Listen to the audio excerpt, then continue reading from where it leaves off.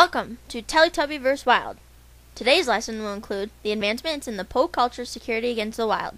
To start off, let's meet our Po inhabitants. First, the warrior Po. Whoa. Hey, hey. Sarah, I need your help. Nah. Second, the musical Po.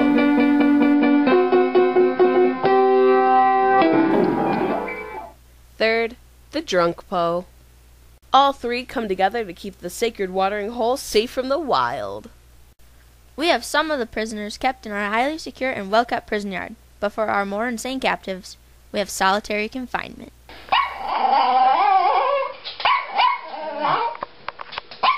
At first, we thought the Pos themselves could handle the situation. Someone's been here. Those are your tracks. Hmm?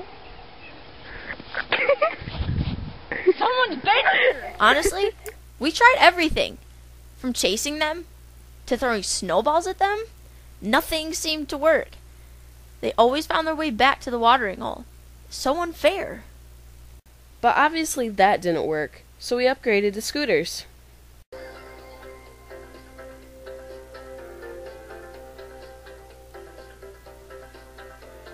When that didn't work, we tried horses, but that failed as well.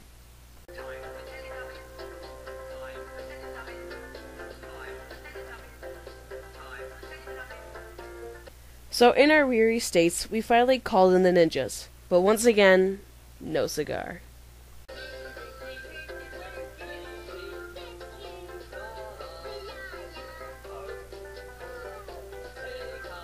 So, we did what all great and paranoid people do.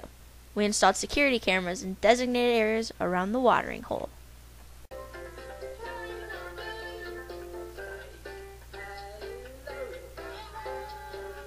The cameras were hooked up to an alarm that went off whenever a wild was spotted.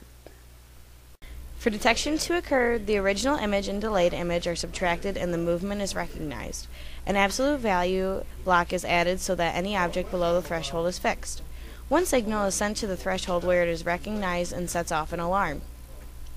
The second signal is added to the original image and displayed so we can see where the movement is taking place.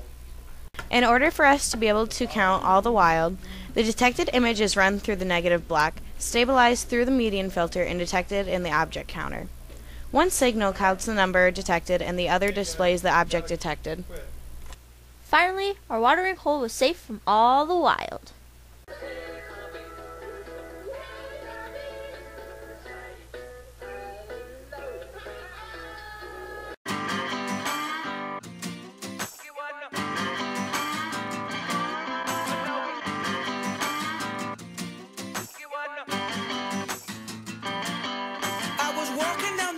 Out the corner of my eye I saw a pretty little thing approaching me. She said, I never seen a man who looks so all alone. Could you use a little company? If you pay the right price, your evening will be nice and you can go and send me on my way. I said, You're such a sweet young thing, why you do this to yourself? She looked at me and this is what she said.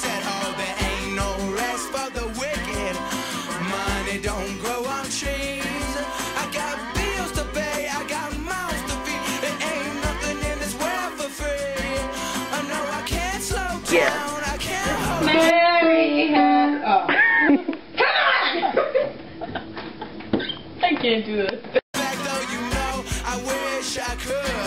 I know there ain't no rest for the wicked until we close our eyes for good.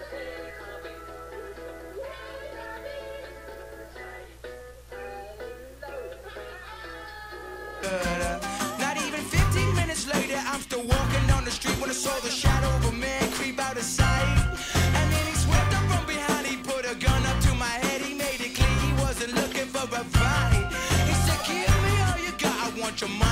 your life, but you try to make a move, I won't think twice.